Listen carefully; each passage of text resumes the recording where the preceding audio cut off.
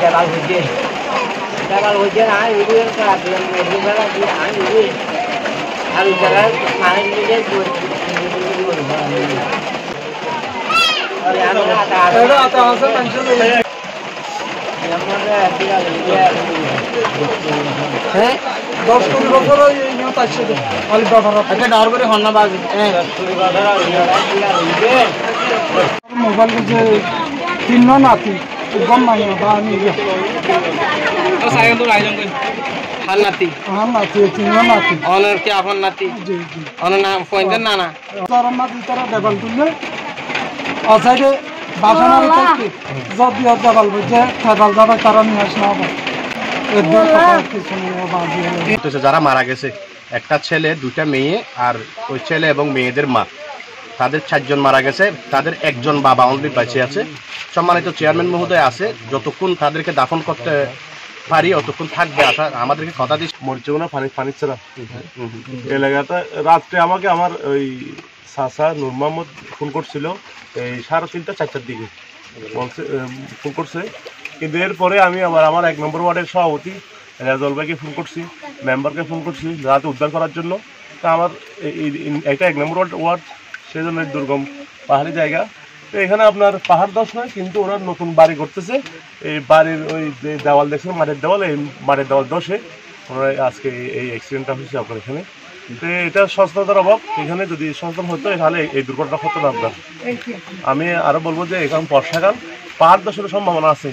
যে বৃষ্টি হচ্ছে এই বৃষ্টিতে পাহাড় দশ তাই সবাই- সবাইকে সতর্ক থাকতে হবে। আমি আমার পরিষদের পক্ষ থেকে যতটুকু সাহায্য করার তখন আমি করব।